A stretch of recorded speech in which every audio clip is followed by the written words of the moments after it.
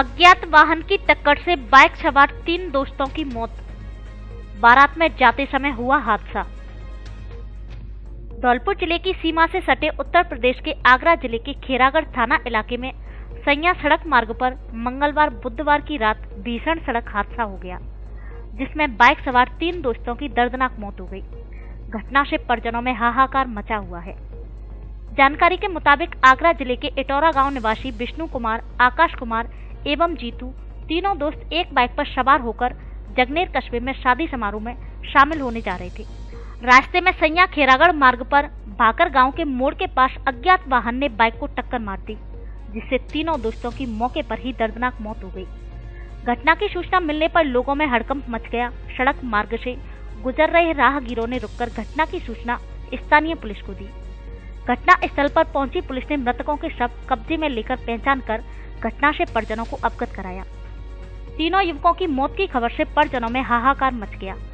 खेरागढ़ थाना पुलिस ने तीनों युवकों के शव को आगरा सरोजनी नायडू मेडिकल कॉलेज की मोर्चरी में रखवाया, जहाँ बुधवार को परिजनों की मौजूदगी में पोस्टमार्टम कराकर शव परिजनों को सुपुर्द किए गए। खेरागढ़ थाना पुलिस फरार अज्ञात वाहन चालक की तलाश कर रही है। पुलिस द्वारा आसपास सीसीटीवी कैमरे खंगाले जा रहे हैं। पुलिस ने मुकदमा दर्ज कर मामले की जाँच शुरू कर दी है। जी, कल शाम खैरागढ़ थाना क्षेत्र में खैरागढ़ से सैया रोड पर तीन बाइक सवार किसी अज्ञातवाद से टकरा गए, जिससे उनकी मौके पर दो लोगों की मृत्यु हो गई। एक व्यक्ति घायल था, जिससे तत्काल पुलिस ने हॉस्पिटल भिजवाया।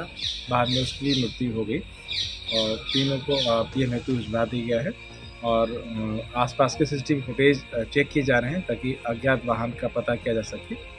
और तीनों व्यक्ति थाना अमलोपुरा के रहने वाले थे कस्बा इटोरा के।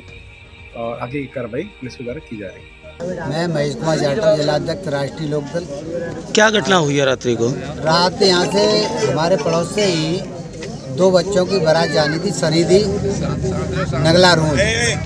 उसमें बारात के रूप में बारातियों के रूप में ये बच्चे बारात में जा रहे थे। इनके साथ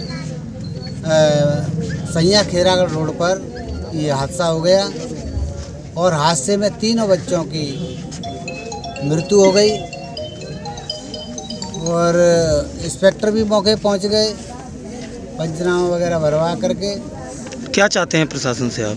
प्रशासन से हम ये गुहार कर रहे हैं कि अब इन लोगों के साथ जो घटना हुई है वो तो हो ही गई है मगर इनको आर्थिक मदद दी जाए। इनके परिवारों को कि गरीब परिवार हैं